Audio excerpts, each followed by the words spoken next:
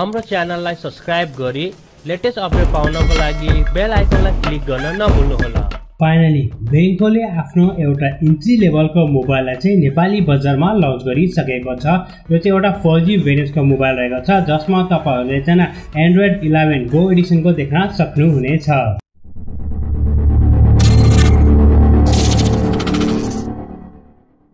नमस्कार टेक्ने युट्युब च्यानलमा यहाँलाई हार्दिक स्वागत छ। बेङ्कोले आफ्नो एउटा इन्ट्री लेभलको मोबाइललाई चाहिँ नेपाली बजारमा लन्च गरिसकेको छ।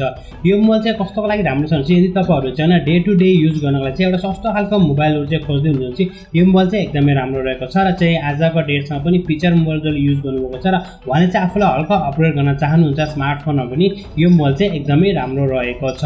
यसमा तपाईँहरूले चाहिँ एन्ड्रोइड इलेभेन देख्न सक्नुहुन्छ जुन चाहिँ गो एडिसनको रहेको छ एकदमै लाइट हो न पाउँछ। यसको साथै सम्पूर्ण एप्लिकेसनहरू पनि प्ले स्टोरमा रहेको छ जुन चाहिँ गो एडिसन एप्लिकेसनको एप्लिकेसनहरू डिस्प्ले साइज पनि यसको नै राम्रो रहेको छ। जुन चाहिँ सिक्स पोइन्ट वान इन्चको रहेको छ भने चाहिँ एलसिडी प्यानल हामीले देख्न सक्नेछौँ र एचडी प्लसको चाहिँ रेजुलेसन रहेको छ। प्रोसेसर चाहिँ हामीले कुरा गरेको जुन चाहिँ रेगुलर प्रोसेसर नै युज गरेको छ जुन चाहिँ वान पोइन्ट सिक्स गेगाको चाहिँ ओक्टा फोरकै प्रोसेसर रहेको छ।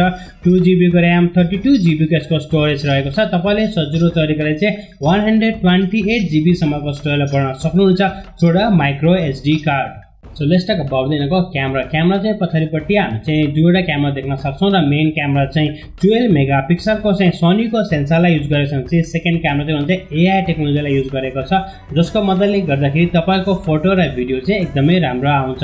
सेल्फी क्यामराको चाहिँ हामीले कुरा गर्ने चाहिँ फाइभ मेगा पिक्सलको चाहिँ सेल्फी क्यामरा रहेको छ। ब्याट्रीको यदि हामीले कुरा गर्ने भने चाहिँ चार हजार एक सय बिस एमएचको ब्याट्री रहेको छ र रेगुलर र नर्मल सेन्सरहरू तपाईँले यसमा देख्न सक्नुहुन्छ र फिङ्गर प्रिन्ट चाहिँ हामीले पछाडिपट्टि देख्न सक्नुहुन्छ। यो चाहिँ एउटा इन्ट्री लेभलको मोबाइल हो र यसको प्राइस कति हामीले कुरा गऱ्यौँ चाहिँ नेपाली बजारमा चाहिँ साँच्चै राम्रै प्राइसमा चाहिँ लन्च गरेको छ जहाँसम्म मलाई लाग्छ सायद चाहिँ यो प्राइसमा चाहिँ यस्तो खालको चाहिँ स्मार्टफोनहरू चाहिँ नेपाली बजारमा चाहिँ एभाइलेबल छैन।